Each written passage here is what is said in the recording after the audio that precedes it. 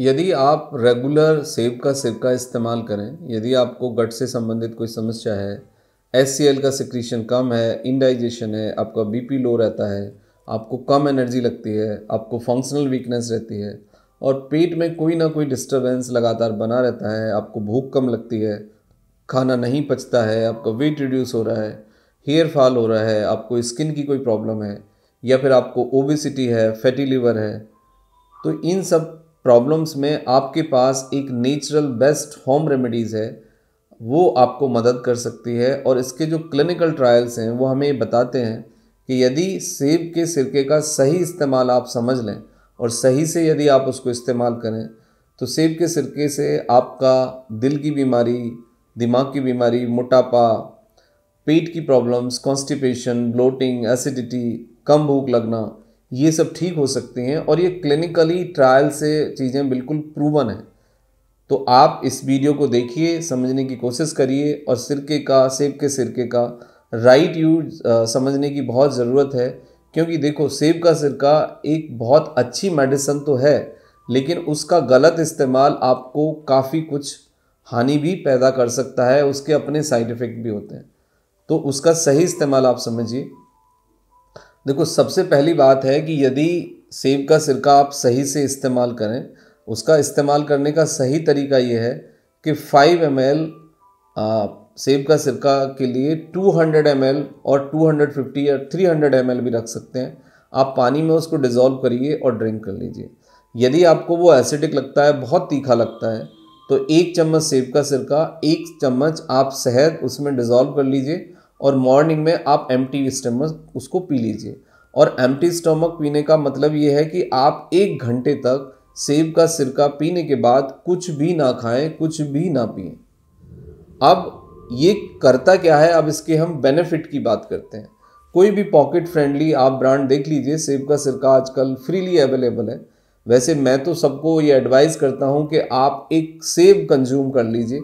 वो भी बहुत अच्छा ऑप्शन है। मॉर्निंग में एम टी स्टोमक सेब खाना, या पपीता खाना, या फिर लेमन वाटर लेना, या आपका सेब का सिरका लेना, ये एक बहुत अच्छी हेल्दी प्रैक्टिस है। ये एक बहुत अच्छी बेस्ट मेडिसन है। एक पेट के लिए अमृत रूपी ये मेडिसन है। तो ये आपको काफ़ी हद तक लगभग पेट की 90 परसेंट प्रॉब्लम्स में और हेल्थ कि दूसरी प्रॉब्लम्स में लेस एंड मोर ये आपको हेल्प करेगी। इससे ओवरऑल हेल्थ आपकी डाइजेशन इम्प्रूव होगा ओवरऑल हेल्थ इम्प्रूव होगी। तो सबसे पहला इसका बेनिफिट ये है कि ये एचसीएल के सिक्रीशन को रेगुलेट करता है। यानी जिनको बहुत ज़्यादा कम एचसीएल का सिक्रीशन है तो उसके सिक्रीशन को ये बढ़ाने में मदद करेगा। जिन लोगों को इंडाइजेशन है, उनके इंडाइजेशन को रेगुलेट करेगा। देखो, हमारे पास कुछ नेचुरल रेमेडीज़ हैं, जिसमें से तीन बेस्ट नेचुरल रेमेडीज़ हैं गट के SCL के सिक्रीशन को रेगुलेट करने के लिए इन्फ्लामेशन को कम करने के लिए। पहली रेमेडी है आपकी बेस्ट रेमेडी सेब का सिरका।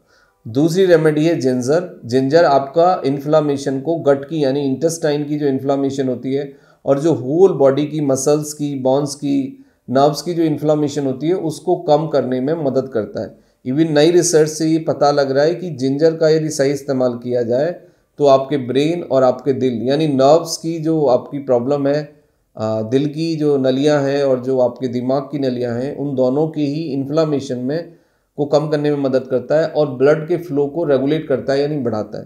तो बट जिंजर खाना कैसे जिंजर को हरी चटनी के रूप में खाना है। हरी चटनी बनाइए, उसमें एक अमाउंट में जिंजर रखिए। एक लहसुन रखिए एक पीस मतलब एक जो उसका बीज होता है लहसुन का, वो रखिए। उतना ही आप अदरक रखिए, प्लस आप में, आप उसके अंदर पुदीना और कुछ दूसरी चीज़ें ऐड कर सकते हैं। और उसके अंदर उतनी ही अमाउंट में आप कर्ड रखिए, यानी अच्छी फ्रेश ग्रीन हरी चटनी बना लीजिए, जिसमें आपका लहसुन हो, जिसमें आपका अदरक हो। ये आपके पेट के अंदर एस के सिक्रीशन को और जो आपका बैक्टीरिया का, यानी बैड एंड गुड बैक्टीरिया का जो रेशियो है, उसको ठीक करने में मदद करता है और जो बैड जर्म्स और या फिर आपके पेट में जो कीड़े होते हैं कि जो कि आपको एलर्जी के लिए या स्किन ड्राई करने के लिए या दूसरी प्रॉब्लम्स के लिए जिम्मेदार होते हैं, उसको वो किल करता है और उसको किल करके रिमूव करने में मदद करता है। तो हरी चटनी जिंजर की हरी चटनी बहुत अच्छा रोल प्ले करती है। सेब का सिरका बहुत अच्छा रोल प्ले करता है। अब हम सेब के सिरके के दूसरे फ़ायदे समझ लेते हैं। ये आपका जो जीआई फ्लोरा है, उसको रेगुलेट करता है, उसको चार्ज करता है, उसको एनर्जेटिक बनाता है, आपके पेनक्रियाटिक फ़ंक्शन को इम्प्रूव करता है लिवर किडनी के फ़ंक्शन को इम्प्रूव करता है, और गट जीआई मोटिलिटी को इम्प्रूव करता है, जिससे कि आपका कॉन्स्टिपेशन और डाइजेशन की जो इनडाइजेशन की जो समस्या है, वो ठीक हो जाती है। गट माइक्रोब्स को नॉर्मलाइज करता है जो बैक्टीरिया की बैड बैक्टीरिया की ग्रोथ है, उसको रिड्यूस करता है। एच पायलोरिक का जो मसला है, उसको काफ़ी हद तक डील करने में मदद करता है। तो जिनको एच पायलोरिक है, वो लोग भी ले सकते हैं। लेकिन मेक ए नॉट्स आई वाले पेशेंट सेब का सिरका विद डॉक्टर के कंसल्टेशन से ही कंज्यूम करें। जिन लोगों को अल्सर है, वो भी सेब का सिरका डॉक्टर के कंसल्टेशन ही लें। दो ऐसी कंडीशन है, जिनमें मैं सेब के सिरके को रिकमेंड नहीं करता। क्योंकि देखा यह जाता है कुछ पेशेंट में जलन पैदा हो सकती है, कुछ पेशेंट में दर्द हो सकता है।